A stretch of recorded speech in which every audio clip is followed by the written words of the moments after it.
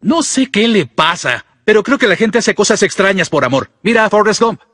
Hola, Forrest. Sé que acabas de regresar de Vietnam y que me amas, pero voy a irme en un tren con este grupo de panteras negras. Está bien, Jenny. Hola, Forrest. Sé que viniste hasta Nueva York a visitarme, pero voy a ir a tener sexo con un grupo de corredores de bolsa. Está bien, Jenny. Hola, Forrest. Ahora que tengo la enfermedad más contagiosa e incurable conocida por la humanidad, finalmente tendré sexo contigo. Está bien, Jenny. Yo cortaré el césped y cuidaré al bebé sidoso.